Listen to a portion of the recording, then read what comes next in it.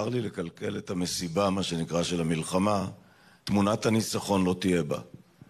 כי התמונה היא תמונת הפסד של 1,300 הרוגים, של 240 חטופים, מתוכם הוחזרו מי שהוחזרו, ושל בוקה ומבולקה של 200 אלף פליטים בארצם, ותמונת הניצחון שלי תהיה כשראש הממשלה הזה יצעד החוצה. זאת תמונת הניצחון, אין בלתה, ולזה אנחנו צריכים לכוון את כל הקהל הזה ועוד מיליונים במדינת ישראל להשיג את תמונת הניצחון הזו.